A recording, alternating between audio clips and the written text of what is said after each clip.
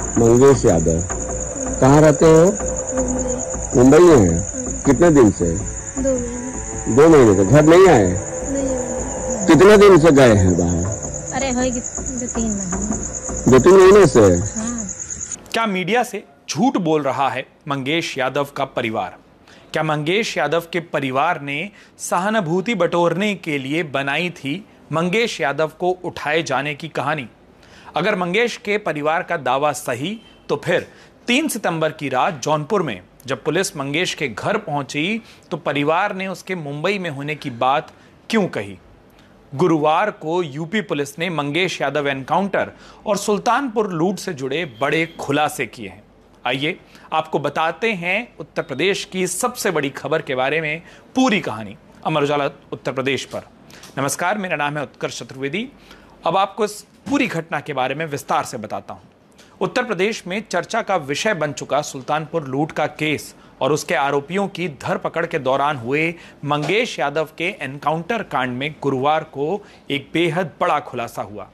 UP police ने 3 सितंबर की रात को जौनपुर में मंगेश के घर पर उसकी माँ और उसकी बहन का वो वीडियो फुटेज जारी किया है, जिसमें मंगेश के पिछले दो तीन महीनों से मुंबई में होने की बात कर रही हैं।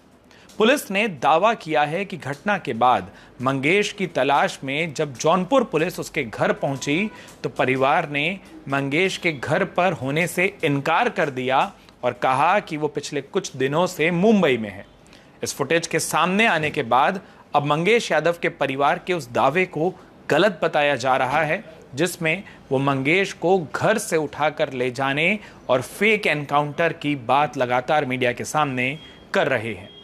यूपी पुलिस के डीजीपी प्रशांत कुमार और ADG law and order Amitabh Yash ने प्रेस कॉन्फ्रेंस करते हुए उस फुटेज को जारी करके भी दिखाया, जिसमें मंगेश यादव सुल्तानपुर में हुई सराफा लूट के लिए दुकान के अंदर प्रवेश कर रहा है। इस घटना के फुटेज को जारी करने के साथ ही पुलिस के आला अधिकारियों ने बताया कि गैंगस्टर विपिन सिंह इस पूरी वारदात का मास्टरमाइंड और गैंग लीडर था। इसने पहले भी लूट की कुछ घटनाओं को अंजाम दिया था, जिसमें कुछ राज्य के बाहर भी शामिल हैं। सुल्तानपुर में हुई वारदात से पहले दो बार उस सराफा दुकान की रेकी की गई थी और उसके बाद लूट की घटना को अंजाम दिया गया था। मंगेश इस घटना में शामिल था। पुलिस ने वीडियो फुटेज में उसको आइडेंटिफाई भी किया है। पूरी वारदात को अंजाम देने के लिए आरोपियों ने दो ग्रुप बनाए थे। एक ग्रुप दुकान में घुसा और लूट की वारदात को अंजाम दिया तो दूसरा ग्रुप दुकान के बाहर आसपास मौजूद था, ताकि अगर किसी भी तरीके के बैकअप की ज़रूरत पड़े, कोई लूट रहे लोगों को रोकने की कोशिश करे तो ये उनका साथ दे सकें। आइए, अब आपको सुनाते हैं मंगेश यादव के परिवार के उस बयान को, जो 3 सितंबर को पुलिस के पहुँचने पर उन लोगों ने दिया था। फिर से बताइए क्या नाम है आपका? प्रिंसी यादव। यादव? पिताजी का नाम? राकेश यादव। कौन गाँव है? अग्रवाल। अग्रवारा के रहने वाली है? हाँ। थाना? थाना बक्सर। जनपद? जनपद? हाँ जौनपुर अच्छा कई भाई है आपका? एक ही। क्या नाम है? मंगेश यादव। मंगेश यादव। हाँ। कहाँ रहते हो? मुंबई। मुंबई में हैं? हाँ। कितने दिन से? दो महीने। दो महीने से घर नहीं आए? नहीं फिर अब उसके ऊपर तो मुकदमे हैं लूट उट के तो अब अब कायदे से रहता है ना? हाँ सर अब नहीं रह उठा नहीं करता रहता है। यहाँ पे नहीं यहाँ पे नहीं। यहाँ नहीं है? तुम्हारा नाम क्या है? हमारा नाम प्रिंस यादव प्रिंस यादव? प्रिंसी यादव। प्रिंसी यादव? क्या लगती है मंजेश के? उनकी बहन मंजेश कै बार जेल गए हैं। सर दो बार। दो बार? कहाँ से? सर जौनपुर से एक बार एक बार सुल्तानपुर अच्छा। वो खा के मार के यहाँ सहारे कितने दिन से गए हैं बाहर? अरे दो तीन महीने। दो तीन महीने से? हाँ। हाँ सर ठीक। शादी हुआ है उसका? ना ही शादी। कै लड़के हैं आपके? एक ही। एक एक ही लड़का है।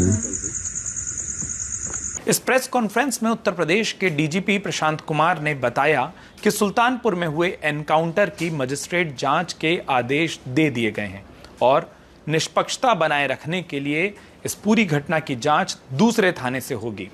डीजीपी ने एक बार फिर ये बात दोहराई कि यूपी पुलिस कभी भी किसी भी व्यक्ति की जाति, उसकी धर्म को देखकर कोई कार्रवाई नहीं करती है।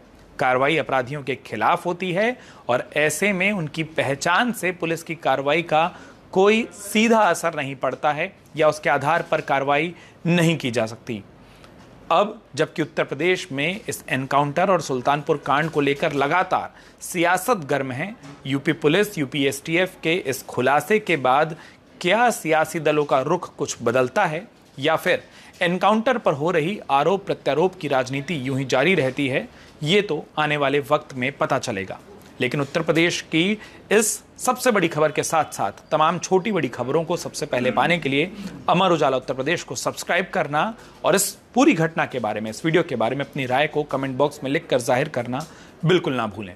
धन्यवाद। अगर आप ये वीडियो YouTube पर देख रहे हैं तो हमारे चैनल को सब्सक्राइब करें और बेल आइकन को दबाना ना भूलें। अगर आप Facebook पर यह वीडियो देख रहे हैं तो हमारे पेज को लाइक करें।